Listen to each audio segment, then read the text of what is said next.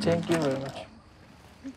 So, I brought gifts to the ladies.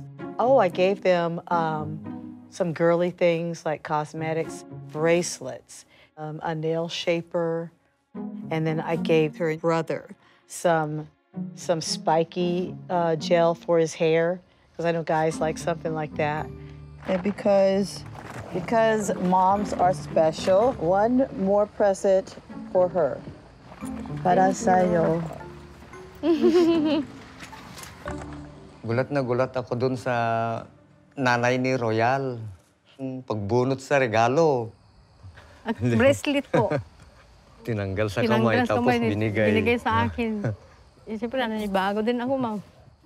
Ako, baka yung mi- minamaliit kami, ganun lang yung isip ko. Yun nga, ah, nag- nakikita ko yung mga regalo niya na pinag- pinagbibigay niya.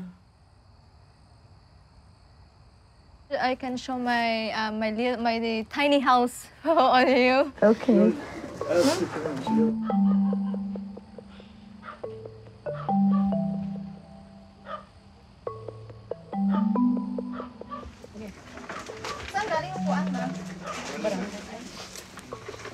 So we have two bedrooms in here, one for my brother and one for my sister and my mom and my dad.